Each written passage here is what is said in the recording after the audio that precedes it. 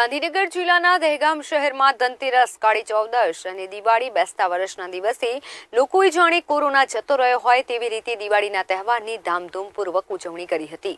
લોકોએ સરકારી નીતિ નિયમો નેવે મૂકીને દુકાનો ઉપર, લારીઓ પર અને શહેરના રસ્તા ઉપર જાણે કે લોકમેળો ભરાયો હોય તેવી લોકોની પડાપડીના દ્રશ્યો સર્જાયા જોવા મળતા હતા.